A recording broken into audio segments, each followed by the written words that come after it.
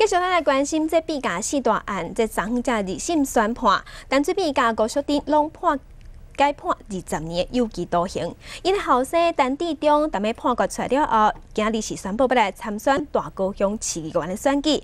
今日下仔啊，伊开记者会，强调讲厝内底人虽然烦恼参选会害伊第二届受到伤害，不过伊讲呢，这是伊的爸爸陈水扁希望伊来完成的，所以伊要用选票接受全面的审判。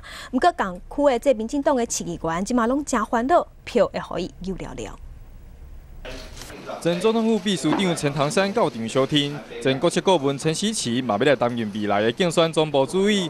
但志中正式召开记者会，宣布参选大高雄市的议员，摆出来定势无势。但是伊强调是脱离民进党参选，希望在不影响民进党的选情之下，希望连赢会使选调大高雄一半以上的议员。坦白来说，如果我们参与党内的初选，那因为由于现在的初选是用全民调方式。所以对我们也是相当的有利。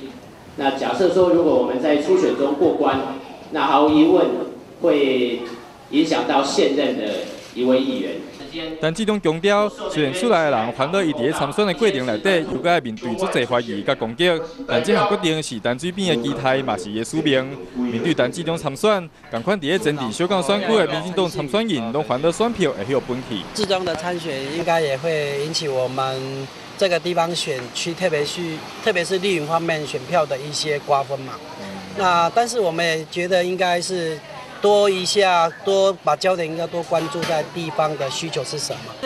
民进党议员希望选民会使关心地方真正需要的是啥物，唔通失去焦点。不过民进党内部嘛掌握，但其中早就拜访过选区内的民进党级别里长，到底抢票的情形有偌大，恐惊这一两个月就会清楚。记者高川大兴坤各项报道。